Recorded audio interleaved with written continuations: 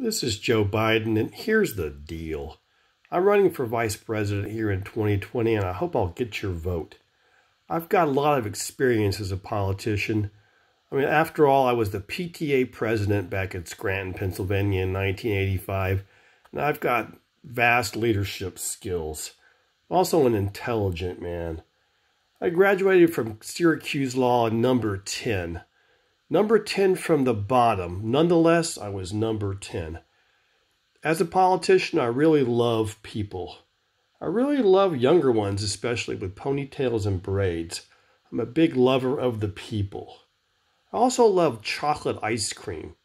I'm a big fan of chocolate, which means I'm racially aware and pro race. Fact is, I'm pro racial. Back in law school, they used to call me old pro racial Joe. That was my nickname. So, in conclusion, America, I hope I'll get your vote for vice president and I'll do a great job to lead America into the future here in 2016. Thank you and good night.